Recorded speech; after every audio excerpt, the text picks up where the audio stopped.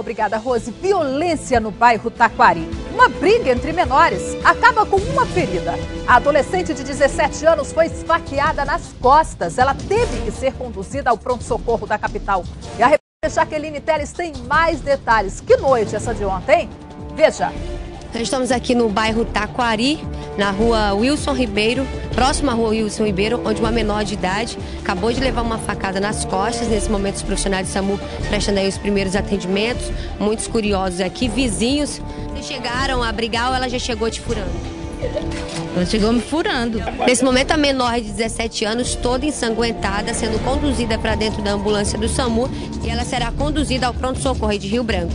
Jaqueline Teles para o Gazeta Alerta.